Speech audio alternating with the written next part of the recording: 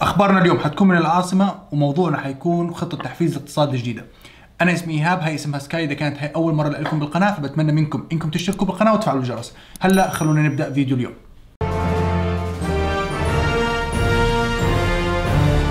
سلام. نانسي بيلوسي وتشاك شومر أعلنوا إنهم راح يجتمعوا مع ستيف منوشن اليوم بعد الغداء.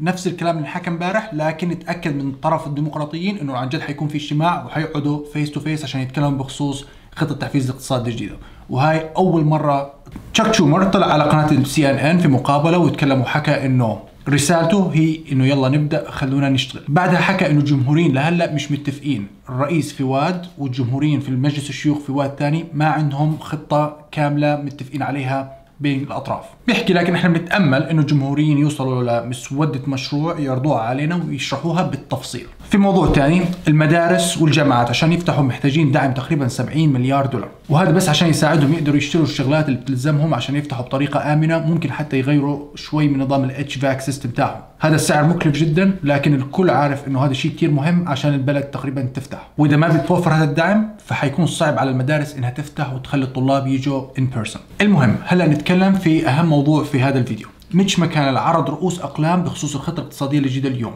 وحكى إنه الأغلبية في مجلس الشيوخ اللي هم الجمهوريين راح يعرضوا عرض تاريخي للخطة الاقتصادية الجديده وبعدها اتكلم عن أهم النقاط اللي حتكون في الخطة بعضهم إحنا بنعرفها لكن أنا حاحكي كل شيء حكى اليوم. حكى إنه حيكون في ميزانية 105 مليار دولار لمساعدة الشركات والمؤسسات والجامعات والكليات والمدارس إنهم يرجعوا يفتحوا. حكى إنه الشركات محتاجين دعم ثاني وجرعة ثانية من الأدرينالين. وإحنا مركزين كالليزر على الوظائف. حكى حيكون في جولة ثانية من ال PPP Paycheck Protection Plan للشركات والمؤسسات مرة ثانية. وكمان حيكون في تعويض لهم بسبب الشغلات اللي اشتروها أو سووها عشان يحموا موظفيهم والزباين من الكورونا فيروس. زي البلكسي جلاس اللي ركبوه قدام ال cashiers والشغلات هاي هاي كمان لازم يتعوضوا عليها. حكى إنه الخطة الجديدة راح تشمل على شك تحفيز الاقتصاد لكن ما حكى قيمته وما حكى سقف الراتب. ما في أي معلومات عن هذا الموضوع. وغير هيك ميتش ماكانل ما تكلم عن ال payroll tax نهائي.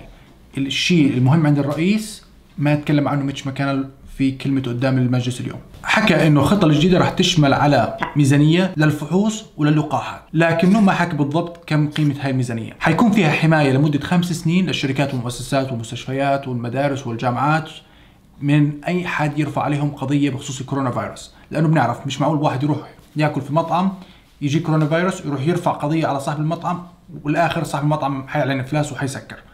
فهو بده يضمن إنه كل الشركات والمؤسسات محمية من هاي الناحية.